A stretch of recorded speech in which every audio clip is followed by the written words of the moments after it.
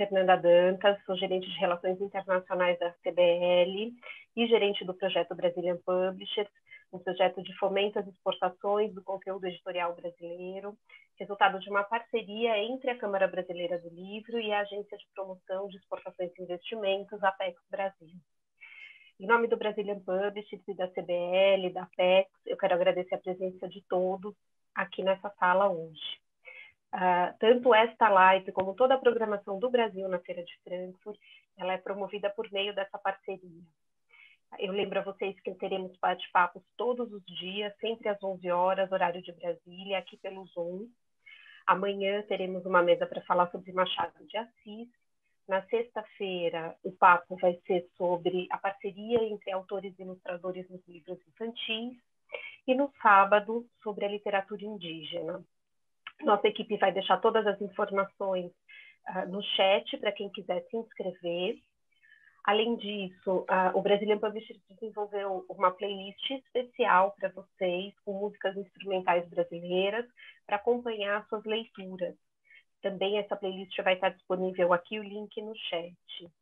No sábado, dia 17, a feira promove o Bookfest Online, Uh, um, são 12 horas de programação oficial da feira, e dentro dessa programação, uh, o Brasil vai estar presente com duas mesas literárias uh, e um happy hour. A gente vai ter a participação do Paulo Scott conversando com a Jarridia Reis e a Socorro Acioli com o Emílio Fraia. O nosso tradicional Caipirinha Hour, que esse ano infelizmente não pôde acontecer no nosso stand, vai ser aberto pelo nosso presidente, Vitor Tavares, uh, e vai ao ar no, dentro dessa programação do Bookfest Online. Hoje a gente tem aqui uma mesa muito especial, uh, um tema apaixonante, que são as histórias em quadrinhos, mangás, ilustrações. Temos a presença de dois ilustradores talentosíssimos brasileiros, Fido Neste e Eloar Guazelli. Uh, quem vai moderar essa sessão é o Rodrigo Faria Silva. O Rodrigo é escritor, editor, uh, agora com uma editora própria. Ele tem vários livros publicados como autor, organizador e como editor, então, uma, mais de uma centena. Então, eu passo a palavra agora para o Rodrigo e desejo a todos uma boa sessão. Bom, Fernanda, obrigado pelo convite Brazilian Publish, um projeto que eu acompanho desde o começo, o, desde os escritores aí da, desse projeto lindo da CBL. E é um prazer estar aqui com, com o Guazelli e com o Fido, dois grandes quadrinistas. Eu tenho uma passagem pela, pela sala de quadrinhos, acho que daí foi o convite para mediar essa mesa. Essa minha editora atual, Faria Silva, ela também publica quadrinhos, teve o prazer de publicar os últimos quadrinhos do Guazelli, e quem sabe no futuro vai poder publicar alguma coisa do Fido também. É, bom, é, eu vou apresentar rapidamente aqui os dois e eu vou passar a palavra para cada um, que posso falar um pouco de si mesmo também, do que gostaria de tocar, de assuntos que queria abordar nessa mesa, e a gente segue para as perguntas e para o bate-papo. Então, o Guazelli é ilustrador, animador e quadrinista, publica quadrinhos desde os anos 90, ilustrou o conto Demônio de Aloysio de Azevedo e outros livros de Capão Amarelo, isso já há algum tempo, o Lobato. É, tem um livro também chamado Caput, que é um livro que aborda a questão a época do nazismo. E, recentemente, como eu disse, o Porto Alegre e, o, é, e a Casa Azul são dois, são dois álbuns que o Guazelli publicou agora, em, em abril, pela Faria Silva Editora. É, é, o filho trabalha com ilustração em quadrinhos já há mais de 30 anos. Seus desenhos podem ser vistos nas folhas, na Folha de São Paulo, no, do, no, no New Yorker, entre outras assim como as capas de várias editoras. Ilustrou os Lusíadas em quadrinhos, a marca de Goldenberg em 1984, a mais recente, a mais recente graphic novel que está saindo agora pela Companhia das Letras. É... Bom, é... então, Vazelli, se você quiser seguir a palavra, vai ser cinco minutos, só para você falar um pouquinho da questão de, do quadrinismo, da ilustração na sua vida, uma apresentação rápida, você, cinco minutos você, cinco minutos o filho. Bom, bom dia a todos. Muito honrado, serei breve, né? Muito honrado em estar aqui presente. tudo aqui me é agradável, tanto as instituições que eu respeito muito, quanto estou entre amigos, mais do que entre colega e, e, editor, e isso não é uma formalidade, é uma verdade. Uh, tem amizades que a gente exerce pouco à distância, mas é um respeito profundo, então eu me sinto muito confortável de estar aqui. E eu não estudei para a prova, que eu considero aqui hoje, porque eu trabalho há 30 anos no ofício, entre outros, dos quadrinhos. Né? Os quadrinhos brasileiros que têm autores de altíssimo nível, sempre teve problemas para encontrar um público, está encontrando agora, problemas estruturais do país, né? E nós somos muito respeitados.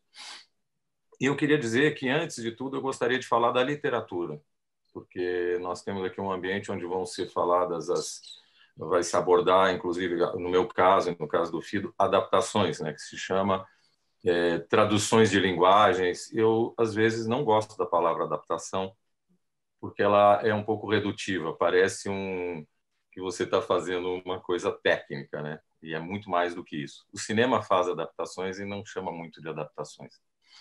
É, mas, enfim, essas transcrições de linguagem, essa, esse diálogo entre as linguagens, para mim é fascinante. E ele começa pelo meu profundo amor pela literatura, que me foi passado pelos meus pais. A minha herança, infelizmente já falecidos, são livros. E esse amor pela literatura, para mim, ele é fundamental na minha construção como artista, como ser. E depois eu tive a felicidade de avançar nos territórios e fazer essas ligações. Eu queria dizer que nós é inevitável a gente dizer que vivemos num mundo em profunda crise de transformação e as crises doem muito. Que a minha primeira a reação quando vivemos essa questão de aquecimento global, de crise de valores, um mundo novo surgindo e o um mundo velho derretendo e, e, a gente meio sem é, chão, né, sem inseguros, é que a literatura talvez possa nos salvar. E eu chamo de literatura o fazer artístico. Mas como a literatura vem lá de trás, lá de trás, tem seus milhares de anos, ela tem uma, uma consistência que para mim é fundamental. Então, a literatura é mais do que um enfeite intelectual, é mais do que uma distração, a gente sabe disso, é um caminho de salvação, muitas vezes. E nesse período em que meus filhos têm medo, que todo mundo tem um lado de medo, eu vejo na literatura a possibilidade da gente transcender. Arte, é importante que se que deixe claro aqui, nenhuma arte, mas o conjunto das artes e, sobretudo, na minha opinião, a literatura, é, não são enfeite. São um, um arcabouço que nos permite. Eu já vivi duas crises pessoais, amorosas, terríveis, e eu fui salvo pelo Amor no Tempo do Cólera, do grande Gabriel Garcia Marques, e por um poema, um poema do Benedetti. Então, eu, eu queria fazer esse reparo, porque nós vivemos num mundo onde, imaginem, eu vou encerrar só para dizer que é isso, a minha vida tem sido essa alegria de trabalhar com essas linguagens e que não é não é, um, é, é muito lógico e maravilhoso que a gente esteja fazendo essa ponte hoje da literatura com os quadrinhos duas, duas, duas linguagens incríveis e fundamentais. Eu gostaria de dizer que num mundo a diferença entre o otimista e o pessimista é a seguinte: imaginem um veículo desgovernado, conduzido por uma pessoa totalmente desequilibrada, sem controle. As pessoas que estão dentro desse veículo estão tendo uma dificuldade muito grande de pará-lo. O que é um, um pessimista? O pessimista diz: na próxima curva vai capotar e nós vamos nos perder. O otimista diz: não, na próxima curva a polícia vai estar e com um sistema de coisa vai parar esse veículo. Otimista e pessimista não importa, a Terra hoje é esse veículo. então, é fundamental que a gente esteja aqui. Ninguém aqui está para enfeite, eu espero dizer coisas leves também, mas eu preciso abrir com isso. Que literatura, arte, publicação, feiras do livro, é, poemas são fundamentais, não só para nobre ofício do entretenimento, mas são muito mais do que isso. Então, é com muita alegria que eu estou aqui para debater este assunto que é, ao mesmo tempo, extremamente divertido e leve, e porque tem que ser, e, ao mesmo tempo, para mim, é a minha tábua de salvação. Eu nunca li tanto na minha vida, sem nenhum critério hierárquico. Vou confessar aqui, fechando minhas palavras, eu pensei que tinha lido O Senhor dos Anéis. Eu, na verdade, tinha lido só O Hobbit. Então, eu achava que era reler O Senhor dos Anéis para me ajudar nos trabalhos que eu estou fazendo, e eu li O Senhor dos Anéis. Ao mesmo tempo, estou lendo um russo, um soviético lá né, dos anos 30, chamado Bulgakov. Na minha prateleira, todos estão. Eu me divirto colocando os livros um do lado do outro para ver se eles brigam, se harmonizam, mas sem nenhuma hierarquia. Não existe para mim nenhuma hierarquia a não ser a qualidade. Então, assim, eu disse para mim, para os meus filhos, para os meus alunos, para quem, eu amo, leiam muito.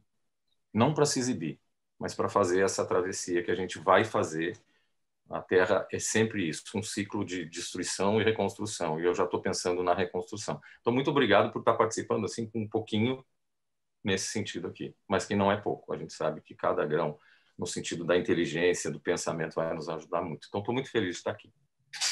No tempo certo, ó. Contei, passei um minuto, 30 segundos. Boa, Fido, bora tu. Olá, bom dia a todos. Também, olha, para mim é um prazer imenso, assim, uma honra estar falando com o Boazelli, que eu sou fã já de muito e muito tempo. Rodrigo, que eu estou conhecendo agora, mas na verdade descobri que já conheço o trabalho editorial dele, depois eu falo disso. E uma grande honra estar participando da, da Feira de Frankfurt, estar falando com, com gente do mundo todo. E o Boazelli abrindo as palavras lembrando dos pais, isso me fez lembrar também que eu tô aqui não é à toa também, é por causa dos meus pais. A minha mãe, ela pintava, sempre pintou. Meu pai, ele começou a cair, ele, a maioria da carreira dele foi de publicitário, mas ele começou com, com quadrinhos até. Ele, ele publicava tirinhas no jornal, ele chegou a ilustrar vários livros da, do Monteiro Lobato para a editora brasiliense. Eu, por coincidência, acabei ilustrando também o mesmo título que ele ilustrou, que é Reinações de, de Narizinho, muitos, muitas décadas depois. E, e eu, na verdade, a minha carreira assim, ela se confunde um pouco com de ilustração com, com quadrinista. Quando eu estou ilustrando, eu eu falo que eu sou ilustrador, de vez em quando eu sou um quadrinista e vice-versa. Quando eu estou mergulhado nos quadrinhos, que cada projeto costuma levar um bom tempo. Eu sou um quadrinista que sou um ilustrador bem de vez em quando. Então, as coisas vão se alternando, né? Por questões de mercado e tal, de um tempo para cá, eu acho que eu estou virando cada vez mais um quadrinista e com onde nas horas vagas eu sou um ilustrador. E as duas formas me dão um prazer enorme, assim, também. Eu, como Guazelli, também sou louco por literatura, adoro trabalhar com literatura, as adaptações que eu fiz também. Agora quero encarar um desafio de, de começar a trabalhar obras onde o texto é meu, 100% meu. E acho que foi tudo culminando para esse momento agora também, onde eu ilustrei o 1984, que vai ser lançado daqui a pouquinho, no comecinho de novembro. E é interessante que é isso, o mundo parece que esse caiu de presente assim na, na, no meu colo esse livro, porque os paralelos que a gente consegue traçar da obra do Orwell para os dias de hoje são muito fortes, né? Eu entrei numa eu brinco que eu entrei numa tripla distopia no começo com, com, com o trabalho do, do, Orwell mesmo, logo depois uh, o nosso novo governo, né? E agora uma terceira distopia, a pandemia. Então, mergulhei numa tripla distopia, tentando manter a sanidade e tal. E, e é isso. Logo, logo, todo mundo vai ver o resultado e eu quero ver o que cada um acha, né? Muito legal estar aqui conversando com vocês. Grande prazer. Bom, legal. Então, é, vou começar aqui com algumas perguntas. O, os, os, espectadores que tiverem interesse em mandar pergunta, por favor, mande pelo é, Q&A, que está aqui na, na, na, base aqui do, do, do Zoom, né? Eu já vi que já, já tem alguma pergunta chegando aqui. Então, é, não mande pelo chat, porque ela vai passar batido, mande pelo Kinionei.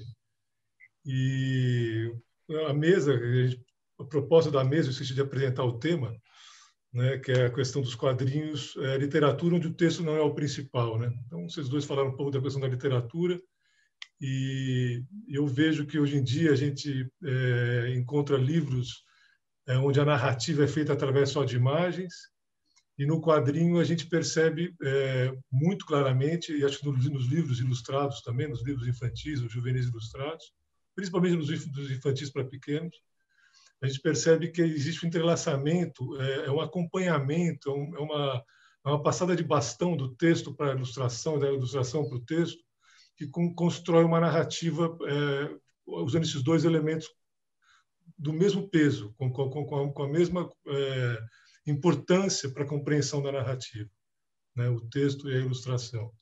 Eu acho que nisso no quadrinho é, é, é o escancarado, né? que é o, essa história da, da, da, nona arte, porque envolve várias artes, né? O quadrinho para mim é assim, eu, eu, nunca fui muito de quadrinho quando era garoto, mas quando eu comecei a publicar quadrinhos no SESI e publiquei muitos quadrinhos né, nesse período, é, eu comecei a entender a grandeza do quadrinho que envolve artes plásticas, roteiro, literatura propriamente dita, narrativos, diálogos? E então acho que essa o tema da mesa e a abordagem pegar dois autores, narradores, né, é, é, escritores através da imagem muitas vezes, talvez através do texto, como o Cido falou vai fazer o projeto, vai entrar nessa no projeto pessoal aí também na parte de roteiro, e como o Guazelli já fez algumas vezes. É, eu vou, né, só, eu só queria consolidar assim o tema da mesa com essa explicação da narrativa das imagens, com o texto, dessa, dessa relação. E talvez possa ser até uma primeira pergunta. Né? É, quando vocês adaptam, né, ou quando vocês. É, eu vou deixar a parte da criação é, completa, ilustração e texto, mais para o final, que eu acho que é uma parte mais rica. Mas quando vocês adaptam, como é que é a supressão do texto, a substituição do texto pela imagem? Quando porque para o texto não ficar repetido, não ficar aquela coisa de foto-legenda, né, de você fazer uma imagem do que está escrito, como é que é esse trabalho? Né? Quer começar, Fido? Claro. É, assim, existem estruturas para fazer isso, tal, mas no meu caso eu eu não sou um grande estudioso. Para mim vai na intuição. Eu você vai formatando a página ou você divide lá um capítulo da, no caso de uma adaptação, né? No capítulo do livro, o primeiro passo é ir sintetizando, fazendo anotações sobre sobre os trechos e você na hora que você coloca aquilo na página, você o grande desafio é sintetizar realmente, você não deixar a coisa redundante, como você falou, não, não mostrar um quadrinho onde o te, onde o que aparece a imagem é uma, uma repetição do, do, do texto que está ali no próprio quadrinho. Então, isso entra da imaginação do, do artista. Você tem que ter uma sintonia fina, assim, de casar exatamente onde termina o texto e começa a imagem, a pessoa acabou de ler e vai buscar algo a mais nas imagens. É, mas é muito intuitivo, assim, não, não, não, não tem muito como explicar o, o como eu faço isso. Né? Você, Guazelli? Que bom que ele falou antes. É, que bom que você falou intuição, porque eu acho que passa muito pela intuição. Depois só a gente pode avançar, porque ó, eu, além de ser, trabalhar com isso, eu fiz pesquisa em quadrinhos, né, acadêmica na USP. A minha, a minha dissertação de mestrado foi sobre o Zé Caioca, que é um grande personagem, identidade brasileira e tal. Mas o que eu queria dizer é que, assim, daria para conversar horas porque, entre outras coisas, o texto cresce muito em determinados quadrinhos. O quadrinho norte-americano do começo do século XX, que para mim é o melhor, é uma questão de juízo de valor meu, ele tem tanto texto que ele vai influenciar a soap opera, essas séries que vocês veem no Netflix e que de vez em quando vocês dizem assim, nossa, como eles são bons de diálogo, nossa, essa comédia, essa comédia familiar nasce no quadrinho, nasce no quadrinho que foi o grande, grande junto com o cinema, é a grande explosão de cultura de massa, para o bem e para o mal. Então, ah, e cuidado quando se refere à cultura de massa como algo só produz coisas ruins. Existe literatura ruim. Eu acabei de elogiar a importância que ela tem na minha vida, e às vezes o quadrinho sofreu já um preconceito porque ele é julgado pelas expressões vulgares. Mas se nós julgássemos a literatura e o cinema por isso, haveriam inúmeros exemplos também. Faz parte. Né? Ainda bem que o quadrinho venceu esse preconceito mas você tem, inclusive, um, alguns quadrinhos, e hoje uma volta disso, o quadrinho independente americano, com muito texto, com uma overdose de texto, e vai depender de cada contexto. O que existe é essa associação com a, com, com a imagem. Então, assim, esse hibridismo, essas relações, né, é, elas são muito complexas. O, o, existe quadrinho com pouca imagem. E, e aí você pode até dizer gosto ou não gosto tem quadrinhos maravilhosos. E esse quadrinho popular norte-americano, Pafunço e Marocas, eu fiz 58 anos, então eu, eu, eu me autorizo a dizer que tem um nome lá em inglês clássico, é, era uma comédia de valores familiares. Nasceu ali. Vou dizer outra coisa, eu como pesquisador. Todo mundo se refere ao cinema argentino como um cinema maravilhoso, e é verdade. A tradição de roteiro deles vem do quadrinho. Ah, na Argentina, na França, eu posso garantir, Estados Unidos e, e, Japão também, mas na Argentina e na França, não existe o qualificativo infantil ou adolescente para quadrinhos. Existe quadrinho para escritores existencialistas. O ministro da Cultura, que a gente sabe que na França é o segundo ou terceiro ministério mais importante, e é mesmo, porque a questão da identidade cultural para o francês é fundamental, e a perda de hegemonia, lê quadrinho. Mas ele não lê para agradar os filhos, ele lê quadrinhos de alta voltagem intelectual. Então, existe o roteiro argentino, que todo mundo. Ah, sim, e relaciona muito com a literatura argentina, se esquecem de, de que a, a, o roteiro de quadrinhos preparou, porque ele é um meio de caminho, para o roteiro de cinema. Então, assim, essas relações são muito intensas. Eu lamento que o tempo é muito curto aqui para colocar. Então, agora vou dar um exemplo pessoal. Eu adaptei Grande Sertão Veredas, eu transcrevi. Vou ser breve, mas é fundamental que eu diga. É uma das maiores obras da literatura mundial. Bom, gosta ou não gosta são outras questões. Ele tem uma estrutura muito próxima da do Don Quixote, que é uma história dentro da história, dentro da história, dentro da história. Quando eu fui procurado, eu me lembrei do Ernesto Sábato, um grande escritor argentino, um dos maiores, que numa entrevista diz ele também é cineasta, eu também trabalho com cinema e eu, eu entendi, e perguntaram para ele: "O que você adaptaria para o cinema?" E ele disse: seguramente Dom Quixote. Mas o Dom Quixote não cabe num filme. Nem os soviéticos, que não tinham preocupações mercadológicas e faziam um filme de sete horas, magníficos, mas de sete horas, ousaram adaptar dessa forma o Dom Quixote, porque não cabe. Ou adaptar, mas não cabe. Você faz um filme de 12 horas, você pode transformar em série, mas em filme não cabe. Então, o que, que o Ernesto Sábato disse? Eu pegaria um trecho do Dom Quixote, no caso, ele até citou a ilha, que é onde acontece uma série de peripécias, onde está todo o Don Quixote está lá dentro e, tá, e cabe dentro de um filme. Eu pensei isso com relação ao Grande Sertão, porque a minha primeira reação foi: isso é um sacrilégio, eu não posso adaptar isso. Não por ser quadrinhos e quadrinhos ser vulgar, adaptar para o cinema seria o mesmo problema. E para o teatro seria o mesmo problema. Depois eu pensei que daria uma peça de teatro num presídio maravilhosa. É um dos livros fundadores do Brasil. Como ele tem uma linguagem complexa, você tem que se permitir entrar. No momento que você entra, você entra numa obra-prima. E eu disse, mas eu preciso adaptar porque eu preciso de dinheiro. Eu, eu vou ser franco. Eu digo, eu vou aceitar o desafio. Eu, é um livro que traz sempre a questão do diabo e dos desafios, né? E eu disse, eu vou aceitar o desafio. E aí eu me transformei num assassino, killer, viu? Por quê? O Bergman, falando de cinema, disse: fazer cinema é ser um assassino. Kill your darlings mate seus carinhos. Você tem que cortar, senão o seu filme fica uma porcaria. Eu trabalho com isso eu sei. Então, a arte de adaptar é uma arte de cortar.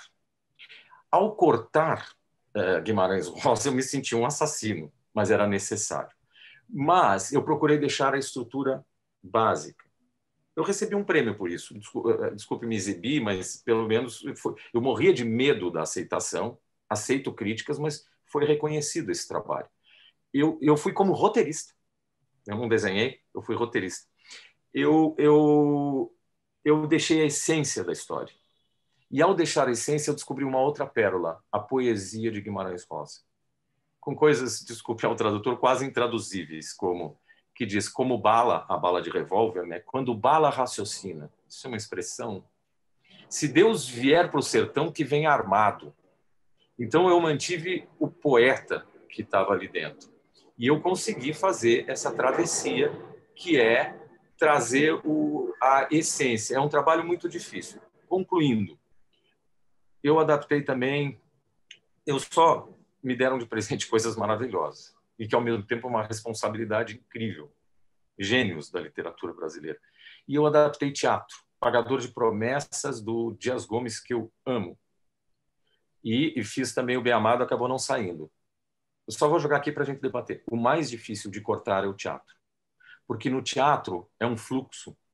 O autor de teatro cria um discurso que tem que ir fluindo e manter as pessoas acreditando que aquilo que está ali na frente é pura farsa, é real. Isso é que é fascinante no teatro. Então, no teatro, cortar um diálogo é algo muito, mas muito difícil. Então, espero ter trazido uma informação aí para a gente.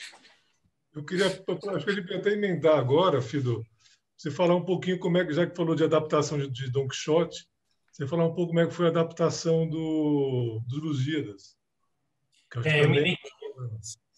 Sim, sim, desculpe. Eu também me identifiquei com o que o Guazelli falou, porque no caso do, dos Lusíadas, eu também eu acho que seria seria impossível você fazer um resumo de tudo e tentar colocar tudo num livro, sabe?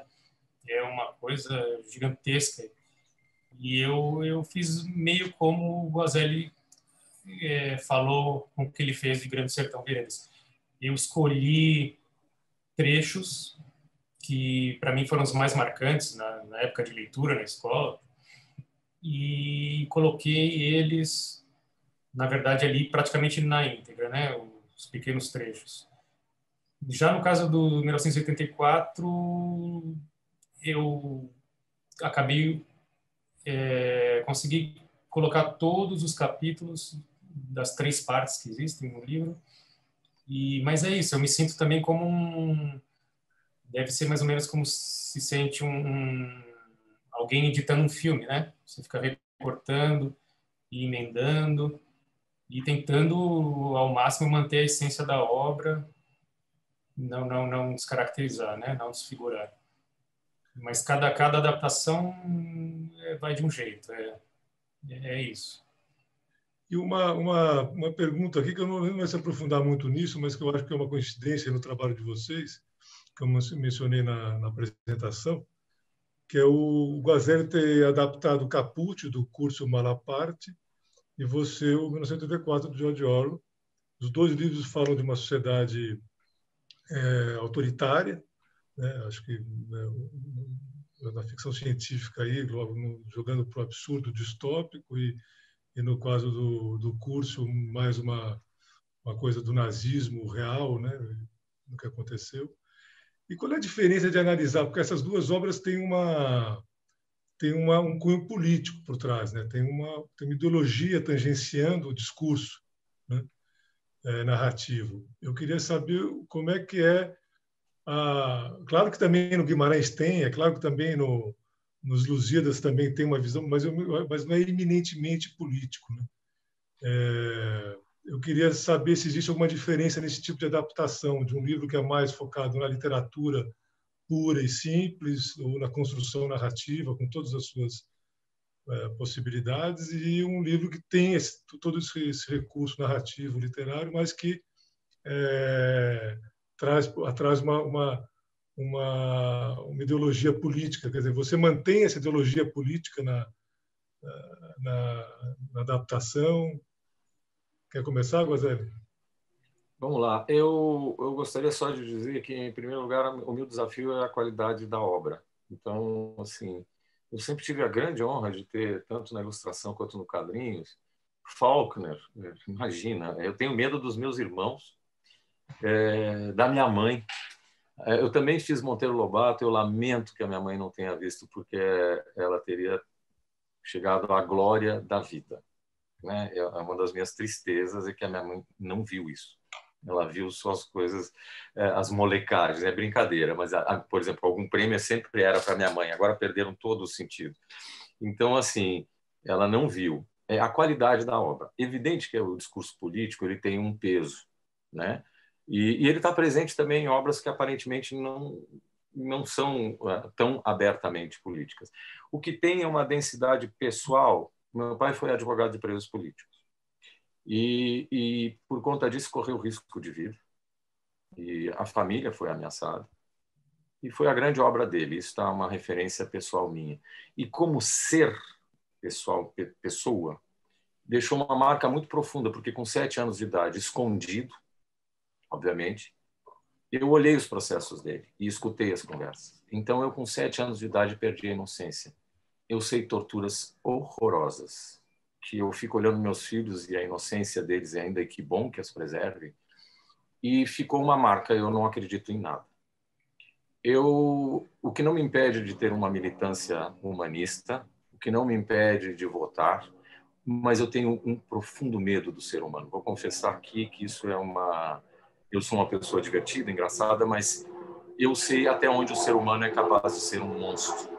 E que muitos desses monstros são o seu vizinho.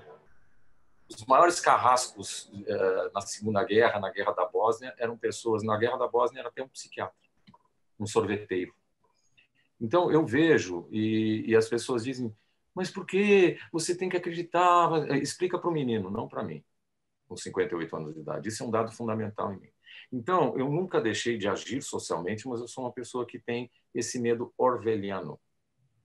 Ainda bem que não aconteceu como um todo, mas isso deixou uma marca profunda. E Caput era um dos livros prediletos do meu pai. O Curso Malaparte, Kurt Ecker, ele é de pais alemães, é, pai alemão, mãe italiana, ele criou esse pseudônimo brincando com Bonaparte e ele acompanhou as tropas nazistas uh, de dentro. Ele era oficial de ligação. E Caput e A Pele são duas obras assim da literatura e que eu li também muito cedo. Eu não deveria ler com 12 anos de idade, porque Caput conta esses horrores com uma elegância ímpar. E foi uma alegria quando um editor, o Alexandre, eu gosto muito de dizer, eu sou grato a você também, viu? A terapia me ensinou a gostar de quem gosta de mim. E eu sou muito grato ao Alexandre e ele ganhou, eu ganhei um jabuti e o segundo lugar ficou comigo mesmo também, com o Rodrigo, grande amigo, com o Grande Sertão. Mas o Caput foi a primeira vez, não, foi a segunda vez que um editor se vira para mim e diz: Guazelli, o que você quer fazer? Eu tinha feito alguns trabalhos é, muito muito interessantes. Eu fiz uma adaptação de uma, um programa de TV da Regina Casé sobre árvores do Brasil e eles gostaram tanto que disseram, Guazelli, agora você faz o que você quiser. Eu, muito acostumado com o passado dos quadrinistas brasileiros sofridos, eu não, eu, como assim o que eu quiser? Assim, faça um livro que você queira fazer. E eu pensei, o Caput.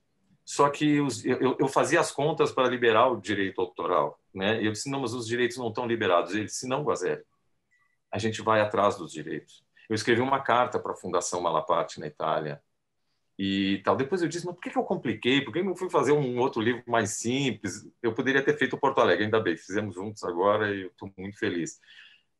E eu fiz o Caput, que era um sonho do meu pai. Uh, era o livro que acompanhou, porque foi um homem que acompanhou os horrores do ser humano. Meu pai conversou com torturadores na porta da sala de tortura para salvar pessoas. Ele salvou pessoas. E, e para sobreviver a isso, a não cometer o suicídio, ele precisou escrever o Malaparte. E o, o, meu pai precisou ler o Malaparte. Então, o que eu quero dizer assim, evidente que tem uma dimensão pessoal, pessoal, é, assim, é, inacreditável. E tem, por um lado, também a velha e boa responsabilidade de estar à altura do livro. Eu tenho amigos queridos que têm raiva de mim porque queriam tê-lo adaptado. O que eu posso fazer, né? Mas eu, eu me senti muito feliz e, ao mesmo tempo, você se sente, agora vou passar para o Fido, você se sente também, de certa forma, mais oprimido, porque o tema.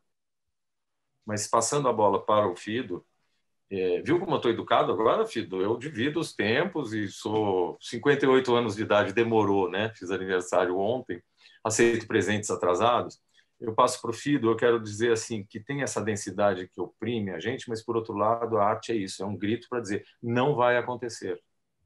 Leiam para tentar evitar que isso aconteça, né? Eu acho que o grande sentido da arte é abrir as tampas, falar as coisas. Quem não fala, quem silencia, está caminhando direto para o desastre. Então, passo para o Fido aqui.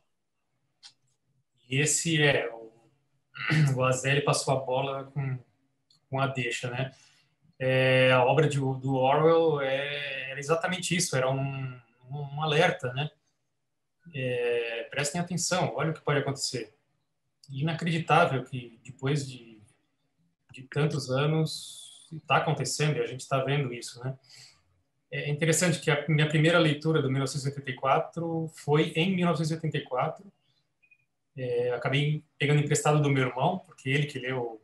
Estudávamos em escolas diferentes e ele é, foi adotado o livro na escola para ele ler naquele ano. E eu acabei pegando emprestado. Eu tinha 13 anos e a gente estava saindo, né, da, da ditadura. E aquilo serviu para para me lembrar do, do que estava acontecendo em volta, assim, daquelas figuras sinistras, nossos presidentes generais e tal. E já me deixou, eu tinha 13 anos, eu li o livro, já me deixou profundamente angustiado, assim, de ver o que, o que acontecia, o que poderia acontecer de forma mais exagerada, um pouco mais exagerada. E é interessante que agora, em 2020, relendo o livro em 2000 e faz um ano e oito meses que eu reli, é, você passou, você você tenta imaginar a visão do Orwell em 1900 escrevendo em 1948, o que seria um 1984 distópico, você lendo em 84, fazendo os paralelos, imaginando ah, o que ele imaginou como seria, como como estou vendo que é agora exatamente nesse ano e relendo agora em 2020, é, vendo que cada vez mais, infelizmente, ele foi acertando ali no que ele estava escrevendo, né? Tem a questão da, do aumento de, dos, dos, governos totalitários no mundo todo e tem também as particularidades da, da vigilância, da perda de, de autonomia do, do ser humano, de individualismo, as teletelas onipresentes, né? que hoje estão na, na, nas nossas mãos o tempo todo, o celular, o Azelli está ali enfeitiçado com a telinha dele. Estou brincando, Azelli. Estou é... desenhando. Achei que era uma teletela. Então, as teletelas onipresentes que ninguém consegue mais se desgrudar, é... o apagamento da, da realidade, da, as notícias falsas, né? Temos o gabinete do ódio, temos vários termos que, que ele cunhou ali no livro a gente está tá vendo hoje, né? Dois minutos de ódio ele inventou. Hoje em dia eu enxergo pior, eu enxergo 24 horas por dia de, de ódio através dessas próprias teletelas, né? É um, um latindo para o outro, ninguém chega a conclusão nenhuma. É, é uma loucura. Pensamento crime. Outro dia eu estava pegando o elevador, isso na hora que eu estava tava mergulhado na obra, né? Lendo lendo o livro à torta direito, relendo e anotando. Peguei o elevador, por um segundo olhei para a tela de, de vigilância do, do, elevador, aquela coisa né, do sorrir, você está sendo vigiado. Então, por um segundo, eu acredito que eu mudei a minha expressão facial, assim, porque eu devia estar pensando em alguma coisa política, talvez, bem provavelmente, e falo, nossa, e me identifiquei na hora, assim, o Winston, ele tinha que manter, ele, todo mundo da, da Oceânia, tinha que manter um rosto condizente ali, com, não poderia ter uma expressão de que podia passar a ideia de que você estava tendo algum pensamento autônomo, alguma, alguma ideia sua. Você tinha que estar ali agindo conforme o Estado queria. Né? É... Acabei me perdendo um pouco. Então, aproveitando, só para. É, então, 1984 foi, foi uma opção sua também, assim como o Caput do Guazelli. Ou você foi, como foi uma encomenda da companhia? Não, foi, foi um convite do meu editor, Emílio Fraia, que também é um grande escritor.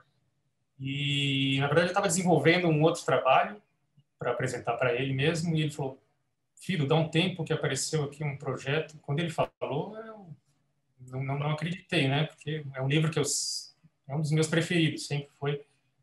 E não podia ter vindo em um momento melhor. Foi, um, foi realmente um convite. Na verdade, os três livros de quadrinhos que eu fiz, quatro, né?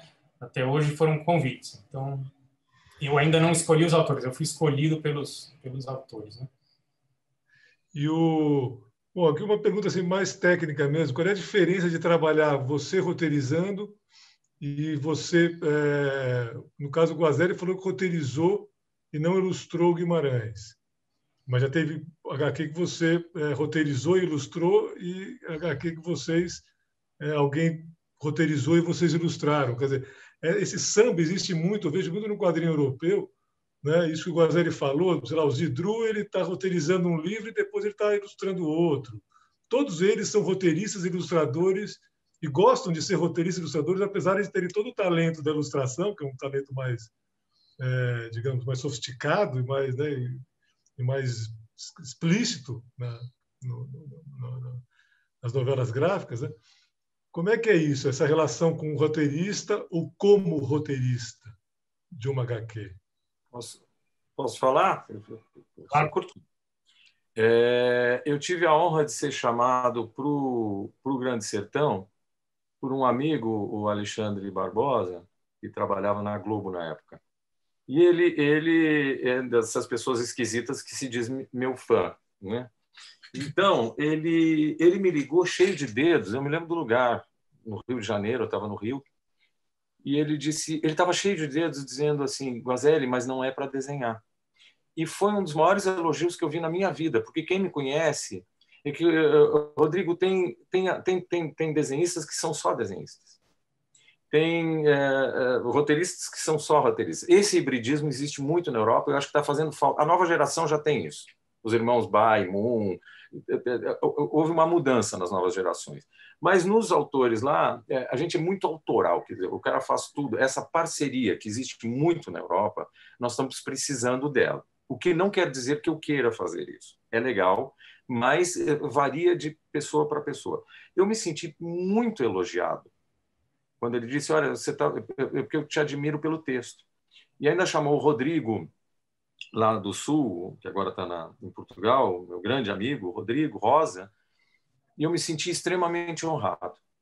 É raro eu trabalhar com outro roteirista. Eu fiz com o Arnaldo Branco também o Vidas Secas. Você tem que ter muita intimidade, porque você. Eu trabalhei com outros roteiristas, porque senão você pode se sentir contido. Então vamos lá. O trabalho que a gente chama autoral, que é em cima do nosso próprio texto, ele tem uma diferença fundamental que eu acho, que é a liberdade maior e também o risco de fazer uma obra pior, porque aí vai depender da qualidade do seu texto. Eu espero ter feito um bom trabalho com você. Mas é isso, o, o que eu chamo liberdade é porque a responsabilidade passa a ser toda sua. Isso é maravilhoso, é, mas aumenta a responsabilidade. Né? No caso do Rodrigo, eu vou contar um, um, um, como tem possibilidades. Como o Rodrigo é desenhista também, e a gente precisava agilizar o processo, eu fiz uma coisa que o Alan Sieber já fez com o pai dele, é, viu? Citei o Alan, meu grande amigo querido, mas alguns roteiristas já fizeram. Quando os dois são desenhistas e temos um prazo, que tem as questões técnicas, eu disse, por que, que eu vou escrever Fazenda do Coronel Pororoca Entardecer? Eu sugeri, Rodrigo, eu vou fazer esboço da página, chama RAF, em português é RAF, um esboço da página, e você e vou botar só as questões fundamentais de texto. Isso agiliza muito. Mas isso só pode fazer quando se aprofunda o respeito para não invadir o outro. E quando você tem confiança de que a outra pessoa tem personalidade suficiente para não ver aquilo como uma imposição. Veja bem, eu fiz uma das coisas mais delicadas que pode ser feita. Eu estou falando aqui porque deu muito certo.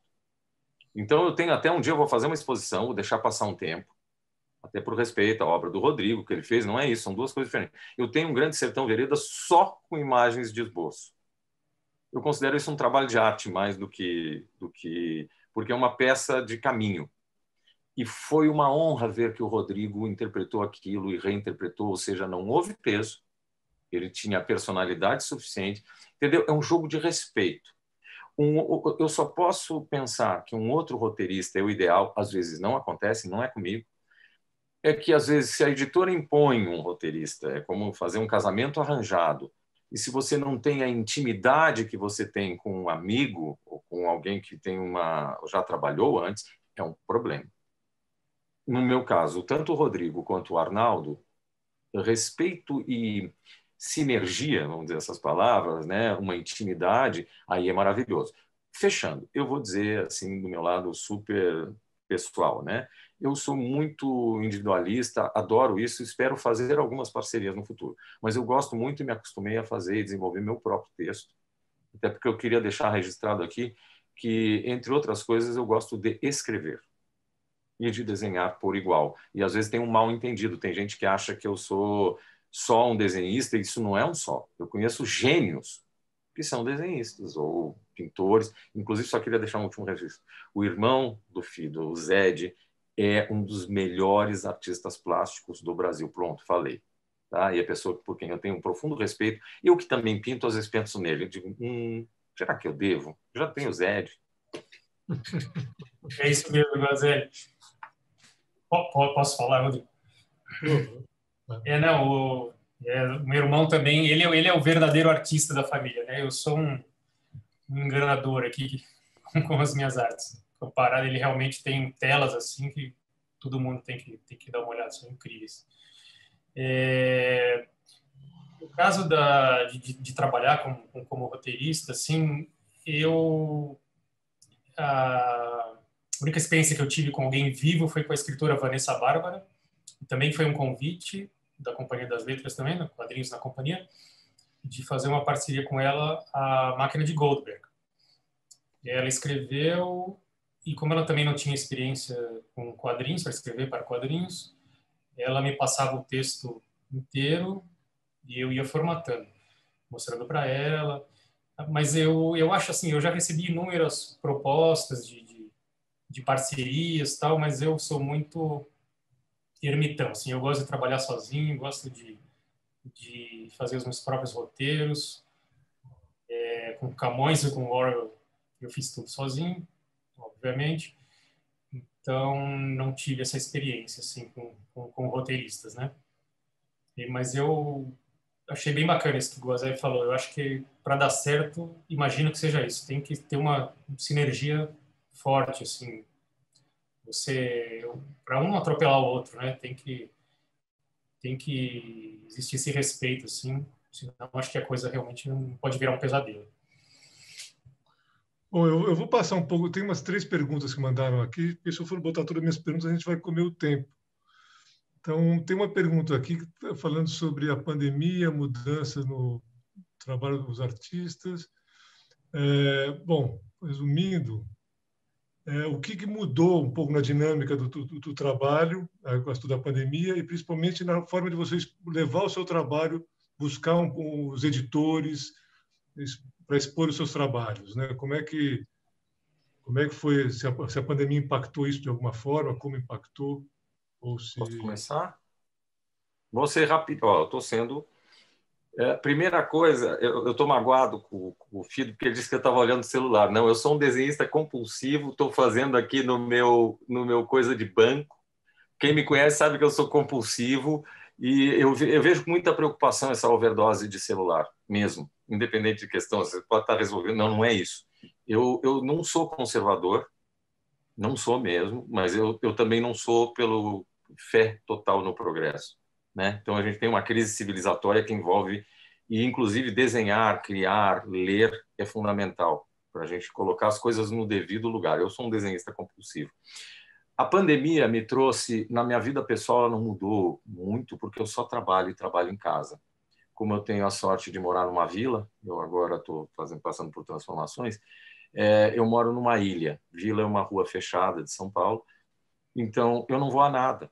Então, do ponto de vista pessoal, é, o que aconteceu foi. Uh, também não muda muito, muda e não muda, a ideia da morte, da extinção. Mas parece que inventaram ela agora. É como o avião, né? As pessoas só acham que vão morrer no avião, quando muitas vezes o avião até é mais seguro. Eu não estou comparando com.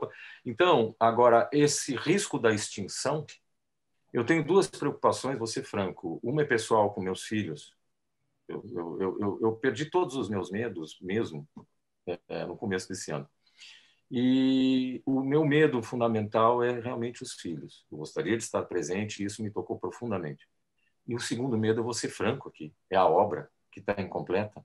Quem não, eh, quem não sabe a dimensão que a obra tem para um artista, então, o número um é o amor pelas pessoas que né, estão no seu grupo. E, em segundo lugar, é a obra. Todo artista, eu juro por Deus, ao morrer, briga com a, aquela senhora, senhor de preto, eu não posso ir agora porque eu preciso terminar meu trabalho. Né? Então, é só isso. Surgiu essa porque... de trabalhar. Então, só tenta Street the point porque a gente está com pouco tempo. Eu estou com medo de... Tá, tá, tá, tá aí feito. Vai, Fido. Ah, bom, eu assim na prática com a pandemia realmente na prática mudou pouquíssimo eu também é, para esse trabalho específico eu tive que ter uma assim, uma disciplina tremenda, né? De acordar bem cedo e dormir bem tarde. Então, e sem sair para nada, realmente para nada. É, mas é claro, você vai acompanhando as notícias, acompanhando o que acontece lá fora, isso vai te impactando na cabeça, né? E sempre inevitável, traçando um paralelo com, com, com a obra que eu estava fazendo. E lembrando do Orwell também, que terminou o livro, assim, é, uma corrida contra o tempo também, estava doente, né? Foi o livro derradeiro dele. E, é, mas é, é isso, a gente fica com, com várias incertezas assim do, do que acontece, do futuro, dos amigos e tal, do, do que vai acontecer. Mas na prática, na prática, pouco mudou. É, uma, outra, uma outra pergunta aqui. É, bom, eu prefiro até. Bom, mas vamos, vamos dessa da, pergunta da Liz Ribeiro. É, se vocês acham que a adaptação do quadrinho cria uma nova obra. Eu acho que vocês já responderam isso um pouco.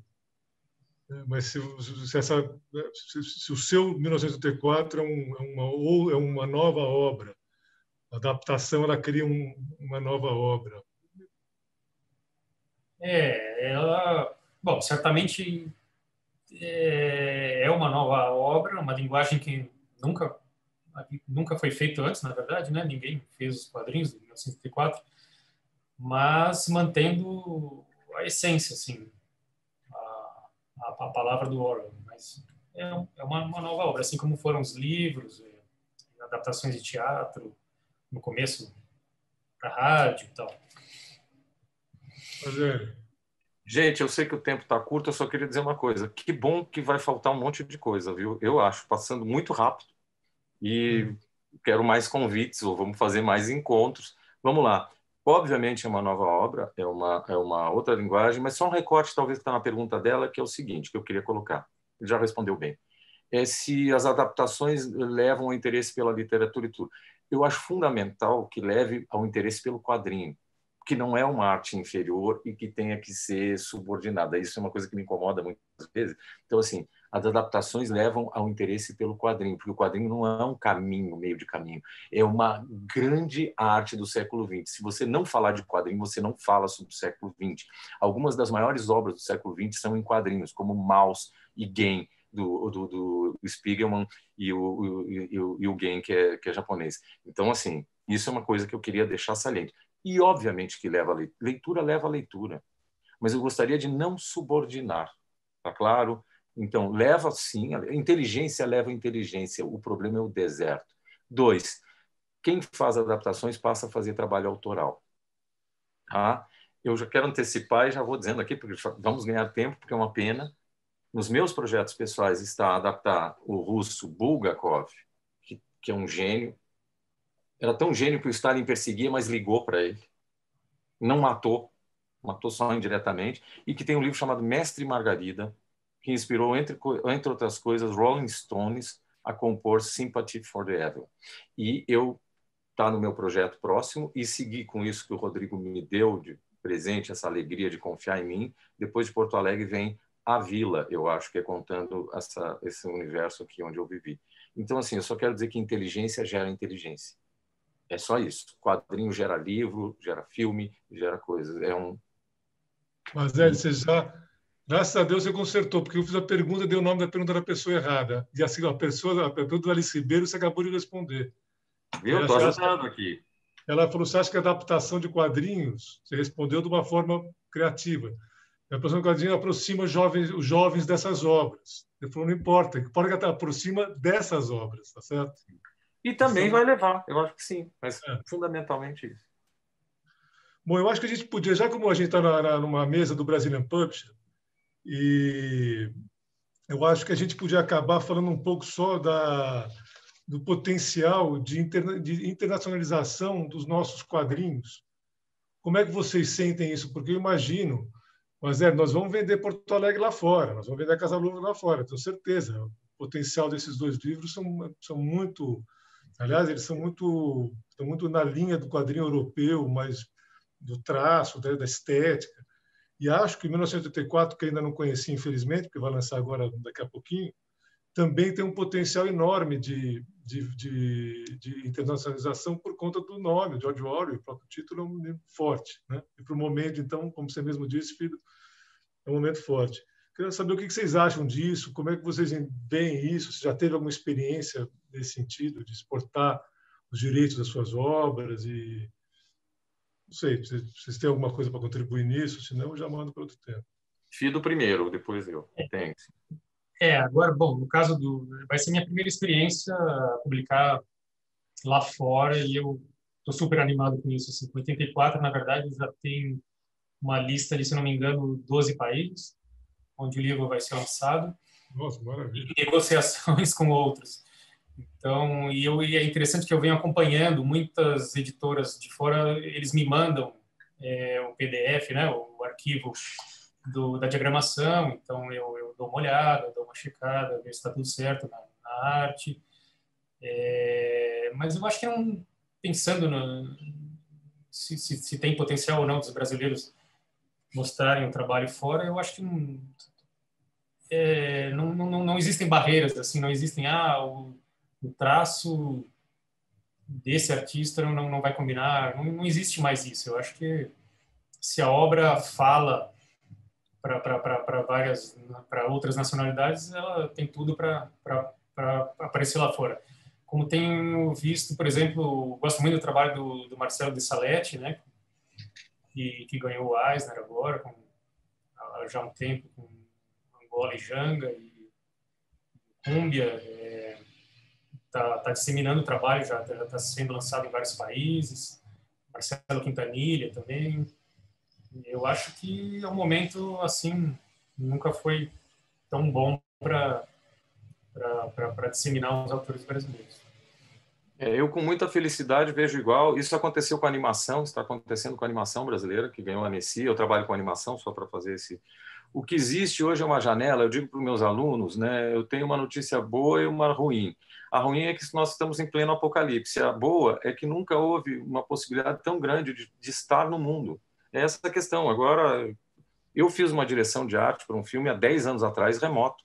Então, isso já estava claro, e agora, cada vez mais. Nós temos qualidade, mas eu, uh, e agradeço a todos os possíveis agentes que estejam nos vendo, agentes no sentido não profissional restrito, mas agentes como pessoas que atuam no mundo, para entenderem que, mais do que isso, viu, Fido, vou te dizer, o Brasil ainda não, não colocou o seu total potencial.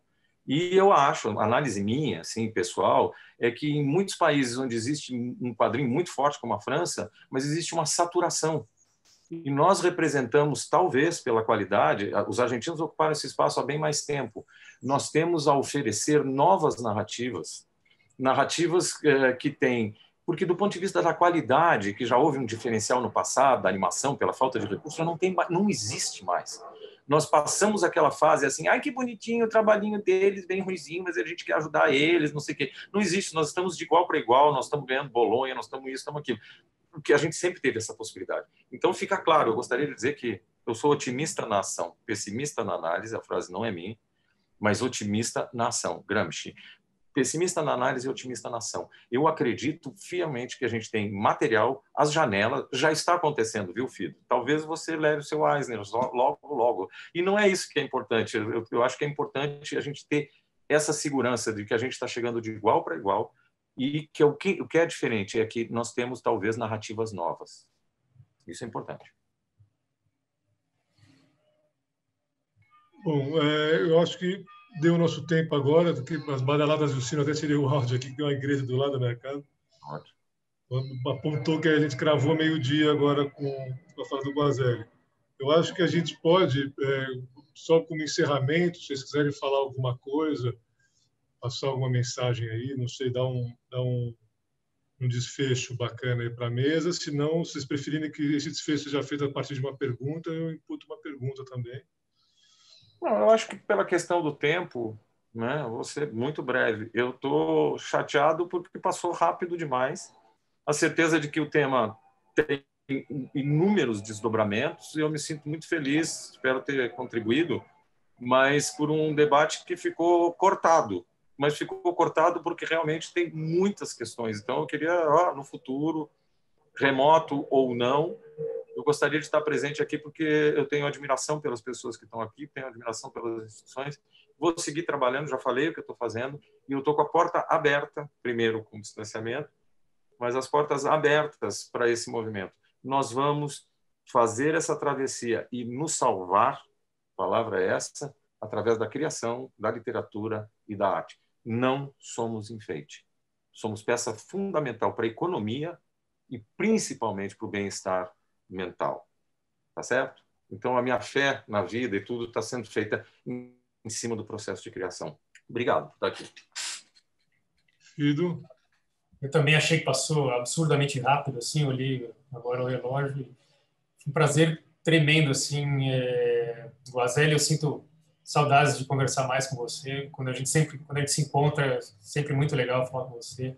Não deixe de, de fazer o, o, o, livro do Bulgakov, Mestre Margarida, que eu lembro que me marcou muito, fiquei até com um pouco de inveja, que vou confessar que esse era um que estava na minha listinha, assim, pensei, que tal fazer uma, um quadrinhos dele?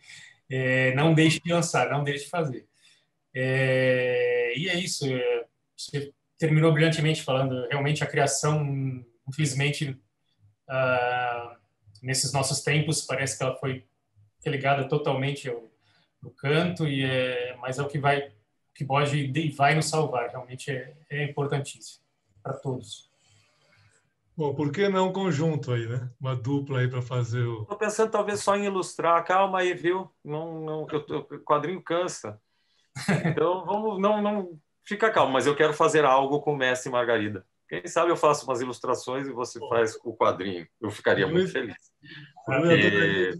Editora já tem. Ó, oh, então. Muito bom. Agora, agora é bom. Queria agradecer, então, Guazelli, Fido, pela presença de todos, Fernanda Dantas, querida e maravilhosa gestora do Brazilian Publisher, pela oportunidade. Foi uma delícia a mesa. Acho que, como o Guazelli falou, vale a, a mesa a mesa, volume 2, volume 3, e, e, vamos seguir isso como uma série. É, quem sabe a gente não, não vai ser na, na, em Frankfurt, na, na Feira de Frankfurt, mas a gente faz essa, esse movimento de algum outro jeito junto com o Brasília Publisher e tentamos continuar essa conversa. Tá bom? O, queria... o, intérprete que teve uma missão muito difícil, viu? Queria agradecer em particular ao intérprete que teve a missão de traduzir as bobagens. Verdade. Muito obrigado aí. É, eu sei que eu tenho uma dicção péssima, deve ter sido difícil. obrigado, gente. É isso, obrigado. Obrigado. Um grande abraço. Literalmente em casa, né? Literalmente em casa.